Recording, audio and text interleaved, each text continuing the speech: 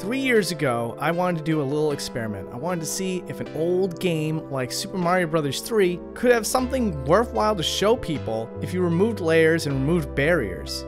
And that experiment was an overwhelming success, showing things that even data miners never found, like, for example, a room that's made up of reused assets that was left behind by the developers.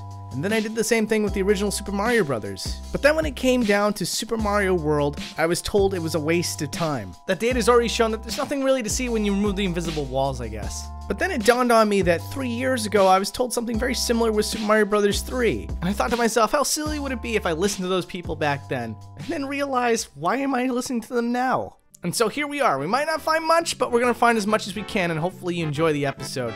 Here is everything I could find out of bounds in Super Mario World.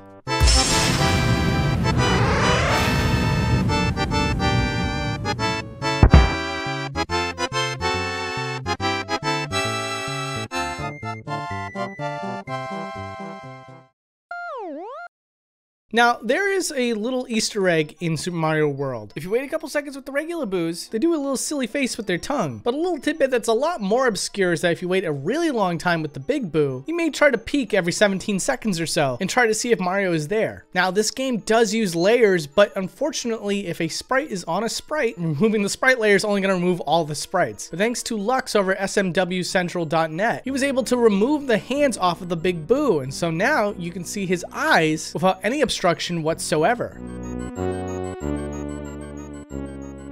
So you can remove layers in Super Mario World, and of course, when you do that, you start to see things that the developers use to mask other things. So you just saw me cross this bridge here with the Cheep Cheep, and if we remove some of the key layers here, you can see that there's a blue square here that the Cheep Cheep goes into. And, you know, that's a little disappointing. It's all on the same layer as the Cheep Cheep, so much like the Big Boo, we had to go inside the ROM itself to remove the blue square just to see what happens to the Cheep Cheep that the developers mask. And if we slow down the footage here, you can see that the Cheep Cheep starts off looking one direction and ends with the image flipped, as well as the palette of the Cheep sheet changing for only a few frames. And that's not the only thing hidden by layers. The Lakitu, for example, always has a body underneath the clouds, but unfortunately, since once again, it's all on a sprite layer, it had to be modified outside of the game. But we pulled it off for you. Here you go. This is what a Lakitu looks like without his cloud, which isn't too different from when you smack on its head and it falls through it. But there's also a Lakitu that goes through a pipe. And if you paid close attention to how the Lakitu looked like without the cloud, you can see that the person that did the art on this one didn't care as much about making sure that the arms connected really well with the body. Again, slowing down the footage, when you see him throw a spiny, you can see that it almost looks as though his arms and his head are placed over the original body instead of being organically connected to it. In fact, you can still see the upper limbs of the original Lakitu underneath the new limbs, which made me curious about the Fishin' Boo, and uh, unfortunately, there isn't anything to see underneath that cloud. You'll see that his neck pretty much just stops about where you'd think it would, which makes sense because you can't step on a Fishin' Boo's head and take the cloud from them.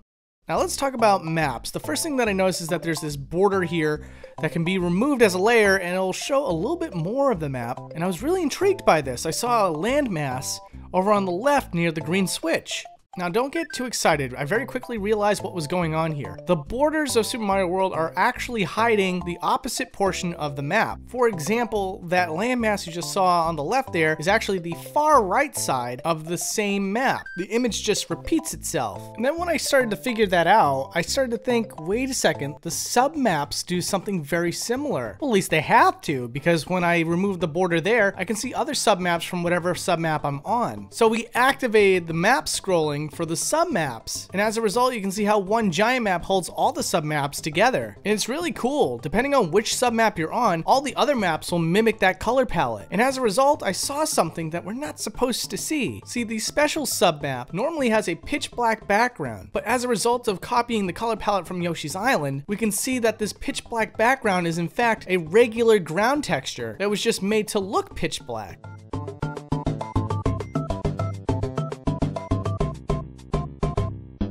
Alright, let's start talking about doors because it gets really interesting here. As you're to see with this building, as we move up, the castle walls seem to immediately end. But what's really interesting is that up here, there's another door. Or should I say, it's the same door as before. See, the way that Super Mario World works is that sometimes there will be two screens and sometimes there will be one screen. And if you expand something to two screens, things start to just repeat itself. And so this door is just a repeat of the door that we were just at. The exit boo doors follows a completely different set of rules though. As you start to move up, the doors just kind come with you. And also by removing the layers here, you can see what that building would look like without the doors open or the exit sign. And if you thought it was fun seeing what the top of the buildings look like, I also want to show you what some of the stages look like in the Forest of Illusion when you just move right past that bottom screen. And just like anything else, the tree line immediately stops. It, I don't know what to tell you. It just, it gives me such a trip to see this stuff. And here's one more example of everything we just talked about with the bonus room. Again, the border just immediately stops and also the item blocks start to come back onto the second screen. Okay, how about we start looking at stuff that is actually outside of the boundaries that you're not supposed to see, but is not an example of saving resources? Well, to start with, on the Reznor boss stage, if we go below the lava line, you can see that there's a stone brick line. That's pretty much used in all the boss battle rooms for the Koopalings. And so it might be doing the same effect that we saw earlier where screens repeat itself when you start to move up or down. And so the bricks in the Reznor area might be rested above, just out of bounds.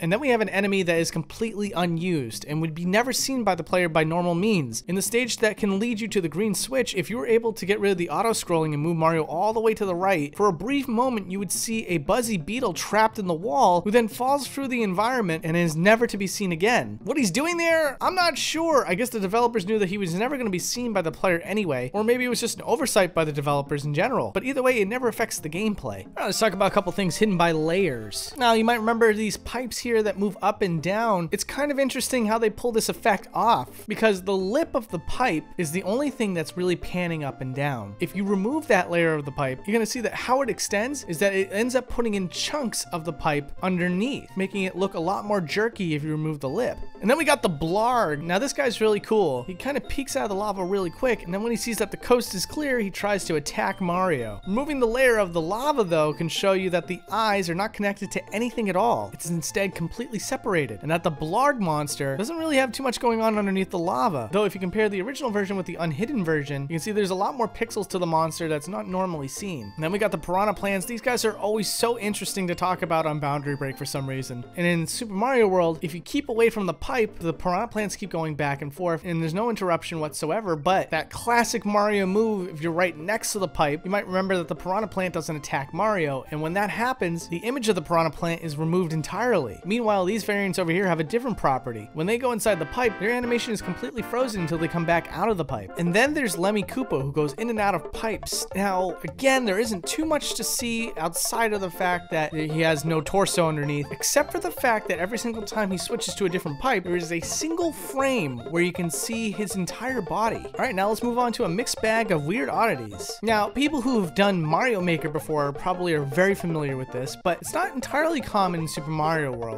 Here's an example of a stage where you go into a sub area within the stage, and this is that sub area that you would normally go to. Now, when you go outside the other pipe in the sub area, it takes you to this opposite side in the main stage. But if you were to move Mario through the main stage and just skip the sub area entirely, you can see that after a little bit of distance here, you would find the pipe that you would normally come out of, showing that this entire main stage is completely connected together. Also, this is something that you don't get to see typically. If you throw an enemy in the lava, there's a lava effect, and if Mario touches the lava in a normal game, Mario simply dies immediately. But there is a water property to the lava. If you were fully invincible and you were to dip yourself in the lava like here, you can see the water effect, indicating that Mario could have been able to swim in lava at one point. And here's some various weird stuff of all the fortress animations. Nearly all the fortresses have a separate layer for the door, and underneath that layer is a gray version of the door. And despite the fact that it's only shown for one scene, every single fortress has a sprite for the dug up dirt underneath. Also, if you were able to take control of Mario during these scenes, a lot of the stuff in these scenes obey the laws of gameplay. Like for example, if you don't move the egg over into the spot, it never triggers the scene where it says thank you. But even better than that, I want to show you this scene right here where every time you push the button, it makes the noise as if you've activated the button. Here, take a listen.